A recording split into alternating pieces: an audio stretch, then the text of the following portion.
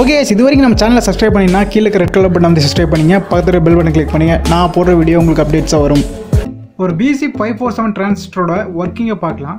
PC five four seven டிரான்சிஸ்டரோட working பார்க்குறதுக்கு முன்னாடி அதில் என்னென்ன டெர்மினல் இருக்குதுன்னு பார்த்துடலாம்.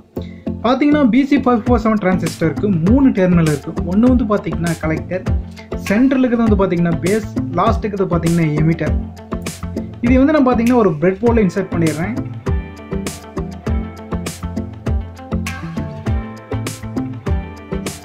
இன்செர்ட் பண்ணியாச்சு. இப்போ ஒரு பிசி ஃபைவ் ஃபோர் டிரான்சிஸ்டர் வந்து பார்த்தீங்கன்னா ஒரு ஸ்விட்சிங் எலமெண்ட் அதுக்காக பார்த்தீங்கன்னா ஒரு லோடத்தை வந்து நம்ம வந்து சுவிட்ச் ஆன் ஆஃப் பண்ண முடியும். அதுக்காக நான் ஒரு எல்இடி எடுத்துக்கிறேன். வந்து ஒரு ஆன் ஆஃப் பண்ணுறதுக்காக இது வந்து பார்த்தீங்கன்னா பாயிண்ட் ஃபைவ் வாட்ஸ் ஒரு எல்இடி பல்பு அதை வந்து நான் பார்த்தீங்கன்னா இன்செர்ட் பண்ணிடுறேன் பிரெட் போர்டில் எல்இடி பல்புக்கும் டிரான்சிஸ்டருக்கும் எல்லாத்துக்குமே அவ்வளோ பொலாரிட்டி இருக்குது இந்த டிரான்சிஸ்டர் வந்து பார்த்தீங்கன்னா கலெக்டருக்கு பாசிட்டிவ்னு எமிட்டருக்கு நெகட்டிவ் கொடுப்போம் பேஸ்க்கு வந்து பார்த்தீங்கன்னா கண்ட்ரோல்டு பாசிட்டிவ் சப்ளை கொடுப்போம் அதை வச்சு தான் பார்த்தீங்கன்னா இந்த எல்இடி பல்பை ஆன் ஆஃப் பண்ண போகிறோம் நம்ம யூஸ் பண்ணுற பவர் சோர்ஸ் வந்து சோர்ஸ் வந்து பார்த்தீங்கன்னா நைன் வோல்ட்னால இந்த எல்இடி பல்ப் வந்து பார்த்தீங்கன்னா த்ரீ வோல்ட்டில் ஆப்ரேட் ஆகும்.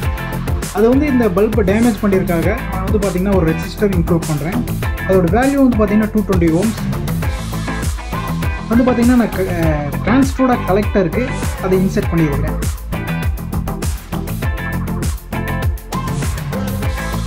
இந்த ரெஸ்டோட இன்னொரு ரெண்டை பல்போட இன்னொரு ரெண்டில் கனெக்ட் பண்ணியிருக்கிறேன்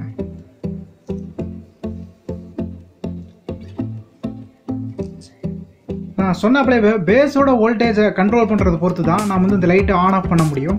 அதுக்குன்னு பார்த்தீங்கன்னா பேஸ்க்கு வந்து நீங்கள் ஃபுல் வோல்டேஜ் கொடுக்கணும் அவசியம் கிடையாது. நைன் வோல்ட் கொடுக்கணும் அவசியம் கிடையாது. நீங்கள் ஒரு point one to point five volt கொடுத்தீங்கனாவே இந்த டிரான்சிஸ்டர் ஆன் ஆகும். ஒரு மில்லியாம்ஸில் கரண்ட் போனால் கூட இந்த டிரான்சிஸ்டர் ஆன் ஆகும். இப்போ வந்து பார்த்தீங்கன்னா அதனால நான் வந்து இப்போ நைன் வோல்ட்டை டைரெக்டாக கொடுக்குறனால ஒரு டூ டுவெண்ட்டி ஓம்ஸ் இன்னொரு ரெசிஸ்டர் எடுத்து அதை பேஸில் கனெக்ட் பண்ணிக்கிறேன் டிரான்சிஸ்டரோட இன்னொரு பேஸில் அதோட இன்னொரு எண்டை பிரெட் போர்டில் கனெக்ட் பண்ணிடுறேன். இதுக்கப்புறம் பார்த்தீங்கன்னா நம்ம இதுக்கு பவர் சப்ளை கொடுக்கணும். அதுக்காக பார்த்தீங்கன்னா நான் ஒரு ஜம்பர் ஒயர் எடுத்து கனெக்ட் பண்ணிக்கிறேன்.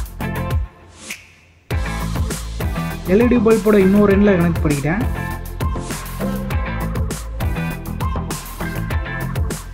இன்னொரு ஜம்பர் ஒயர் எடுத்து இதோட கலெக்டரில் நான் கனெக்ட் பண்ணியிருக்கிறேன். இப்போ வந்து பார்த்தீங்கன்னா இது வந்து பாசிட்டிவ் சப்ளை பேட்டரியில் கனெக்ட் பண்ணணும் ரெட்டை.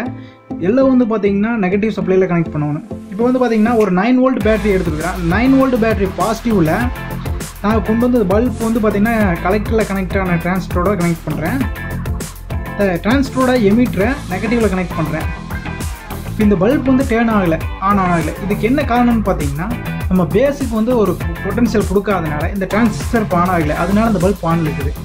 இப்போ அந்த பேஸுக்கு வந்து நம்ம ஒரு பாசிட்டிவ் சப்ளை கொடுக்கணும். அதுக்கோசரம் பார்த்தீங்கன்னா நான் இன்னொரு அதுக்கோசரம் பார்த்தீங்கன்னா நான் இன்னொரு ப்ரோப் எடுத்துருக்கிறேன். அதை எடுத்து நான் வந்து கனெக்ட் பண்ணுறேன் இந்த ரெசிஸ்டன்ஸோட இன்னொரு எண்டில் கனெக்ட் பண்ணிட்டேன். இப்போ அதே மாதிரி நம்ம பார்த்தீங்கன்னா இந்த பல்போட பாசிட்டிவை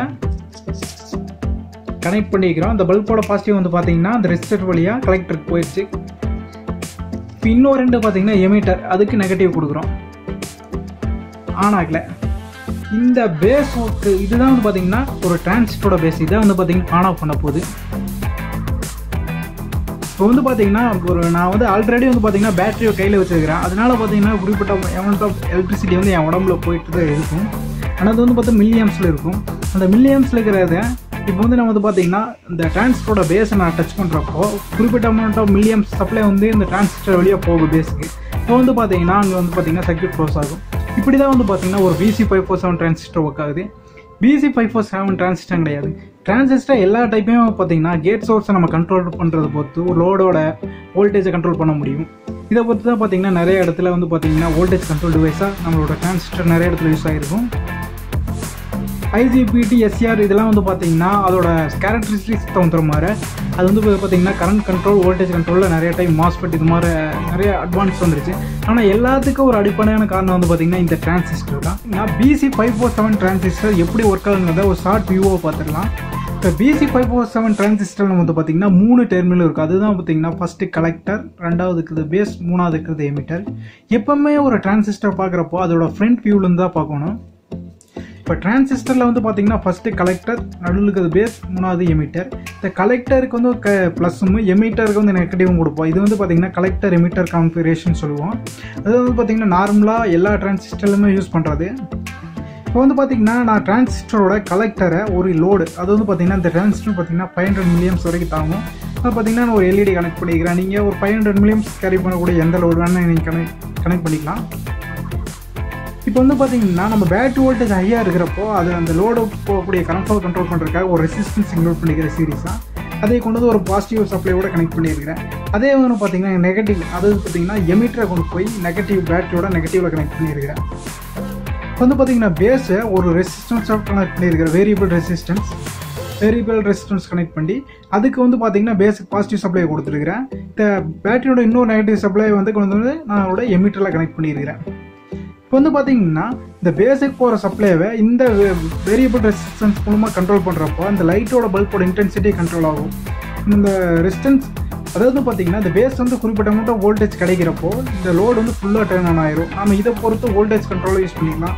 இதுக்கு ஒரு எக்ஸாம்பிள் பார்த்தீங்கன்னா நம்ம வீட்டில் இருக்கிற வாட்டர் டேப் மாதிரி தான் நீங்கள் டேப் எவ்வளோ ஓப்பன் பண்ணுறீங்க ஓப்பன் பண்ணுறீங்களோ அந்தளவுக்கு வாட்டர் ஃப்ளோ நம்மளுக்கு அவுட் கிடைக்கும். அதே மாதிரி தான் பேஸை நீங்கள் எந்த அளவுக்கு கண்ட்ரோல் பண்ணுறீங்களோ அந்தளவுக்கு பார்த்தீங்கன்னா அந்த பல்போட இன்டென்சிட்டி அதாவது கரண்ட் ஃப்ளோ கம்மியாக இருக்கும். எந்த அளவுக்கு ஓப்பன் பண்ணுறீங்களோ அந்த அளவுக்கு இந்த லோடுக்கு போகிற கரண்ட் ஃப்ளோ அதிகமாகிறப்போ இந்த பல்போட இன்டென்சிட்டி அதிகமாகும். ஓகே நம்ம சேனல் இதுவரை சப்ஸ்கிரைப் பண்ணலைன்னா கீழே இருக்கிற ரெட் கலர் பட்டன் வந்து சப்ஸ்கிரைப் பண்ணுங்கள் பக்கத்தில் இருக்கிற பெல் பட்டன் கிளிக் பண்ணிக்கங்க. தேங்க்யூ ஃபார் வாட்சிங்